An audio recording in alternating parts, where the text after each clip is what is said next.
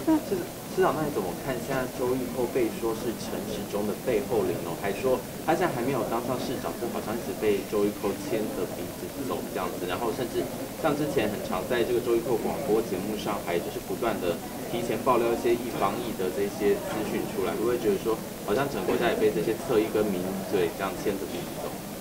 这是个不正常的国，我每次讲说哈，用网军跟名嘴治国，迟早会遭到报应。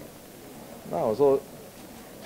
人家问王必胜说什么？哎，要不要开放边境？他说这个那不周一后先讲，那人家就王必问王必胜，王必胜说目前没有这个规划，然后再上节目再说十月要开放边境。我看哦，中央疫情指挥官哦换周一后来做好了，这个我直接讲，票投陈时中就是支持周一后了。